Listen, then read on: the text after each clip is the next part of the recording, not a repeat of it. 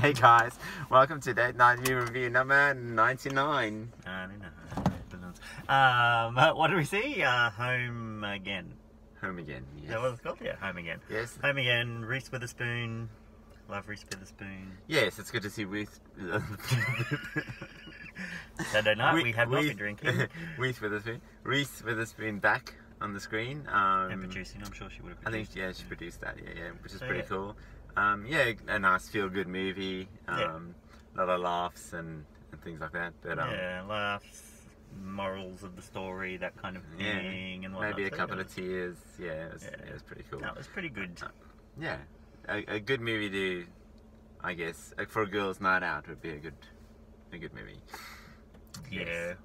Probably two of the only guys really in the cinema. Yeah, I think so. So yeah, but um, we enjoyed it still anyway. Yes, So, yes. So definitely a- worth seeing. Thanks again, Eldorado. Great night Yes, thank you. Uh, um, yeah, short and sweet because there wasn't a lot. I mean, it was yeah, Yeah. just a. Yeah, uh, good storyline. Yeah, yeah, feel good. a little bit comical. Um, so yeah, if you get a chance, you can go out and see it. Um, out of five Shih Tzus, I don't know, just a decent movie. So Uh, three, yeah, three. three. Yep, cool. Three, not a bad one. Um, excellent, Yeah. guys. Well, next is the big 100. So keep your eyes peeled. It's gonna be big, Huge. anyway, guys. like really big. Yeah, huge. Alrighty, guys. We'll see you soon for the 100th review. See ya.